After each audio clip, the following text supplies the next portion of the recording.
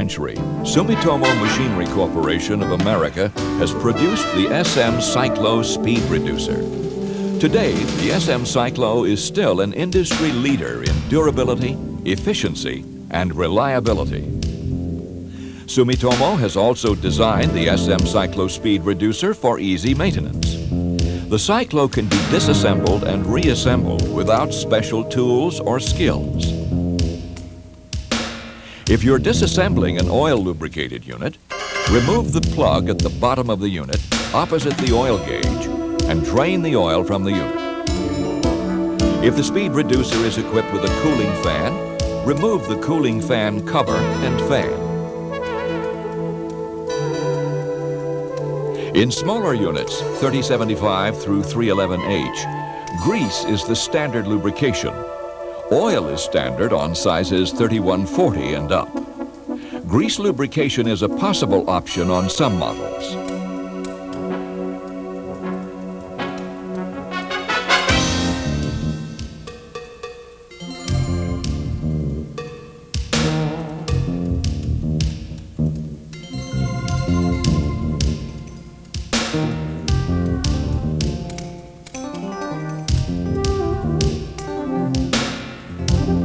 Remove the through bolts from the high-speed shaft end shield and ring gear housing.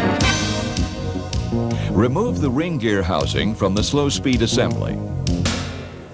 If you have to lift the unit mechanically, place an eye bolt in the drilled and tapped hole on the end of the slow-speed shaft. Once you have removed the high-speed assembly, remove the slow-speed shaft rollers from the pins. Remove the retaining ring from the inner end of the high-speed shaft and use a wheel puller to remove the top bearing.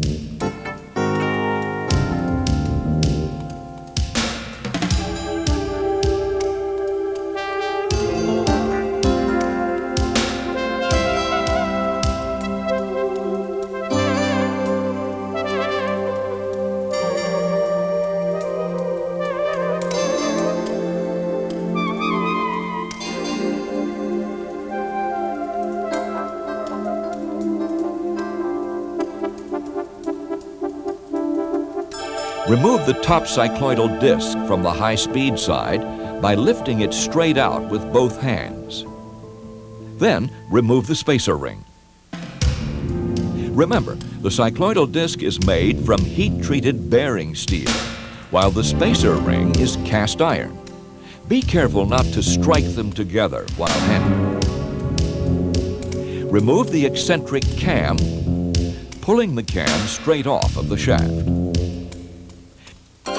In the smaller size units, 3075 through 3097, a single cycloidal disc is used with a counterweight and a single eccentric cam. All other sizes use two discs and the double type eccentric cam. Next, take out the second disc and remove the ring gear housing. To remove the high-speed shaft, remove the eccentric key and bottom spacer ring from the end shield.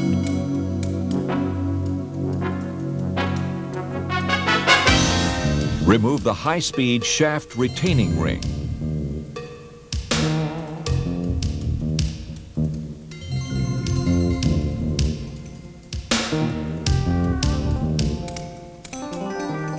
Tap the outer end of the high-speed shaft with a hard rubber mallet to free it from the high-speed end shield.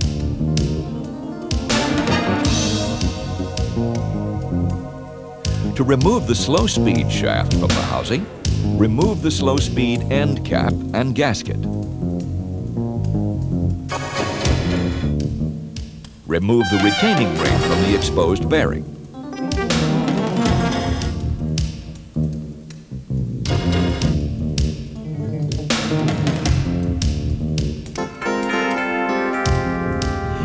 The outer end of the slow-speed shaft with a hard rubber mallet and remove the shaft from the casing.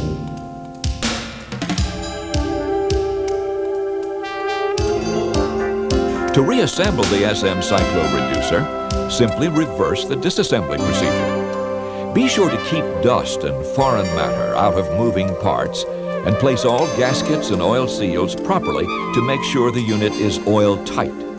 Do not substitute silicone sealant for gaskets. Begin with the slow speed assembly. Place the slow speed shaft on the corner of the work surface with the pins down. Lower the slow speed housing onto the shaft so that the housing feet clear the corner of the work surface.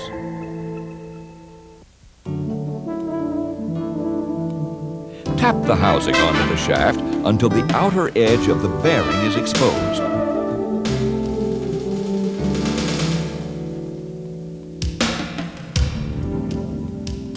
Place the retaining ring around the outer edge of the bearing.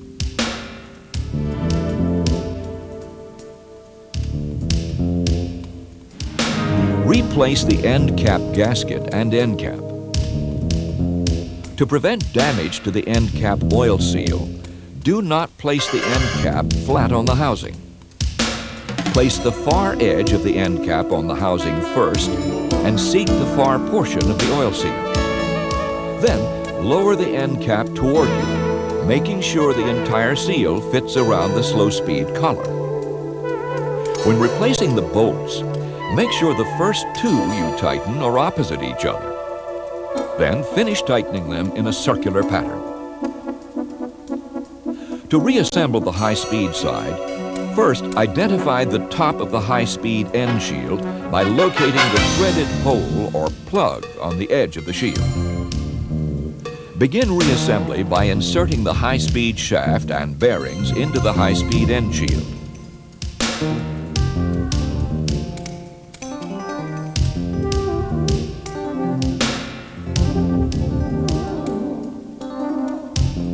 Set them with the retaining ring.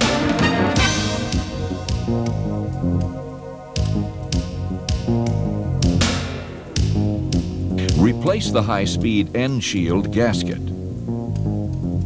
Mount the ring gear housing, lining up the number stamped on the edge with the top of the high-speed end shield.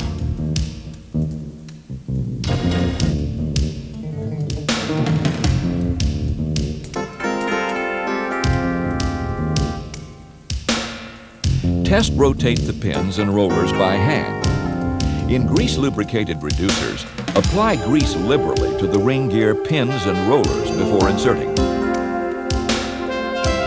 Cycloidal discs are in matched pairs, each carrying the same number which is stamped on one side of each disc.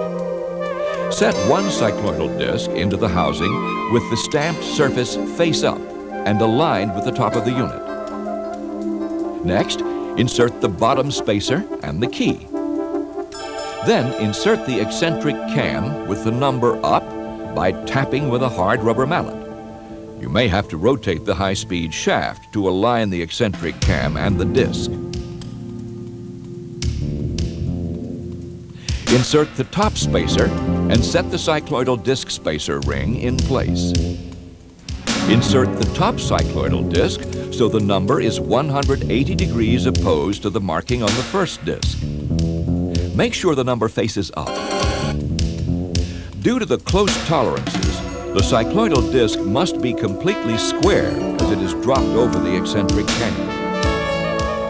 For easier installation, slowly turn the high-speed shaft as you're putting the cycloidal disc onto the cam. Note that on grease-lubricated units, you must liberally apply the proper grease to all bearings and to the cycloidal discs and the ring gear as you assemble the unit. Once the discs are installed, insert the slow-speed shaft rollers and make sure they turn freely. Next, install the top bearing and retaining ring.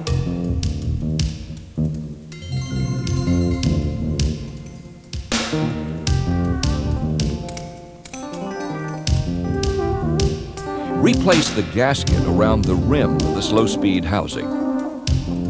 Now join the high-speed assembly to the slow-speed assembly by fitting the pins of the slow-speed shaft into the rollers. If the cycloidal discs are positioned properly, the pins and rollers will fit together easily.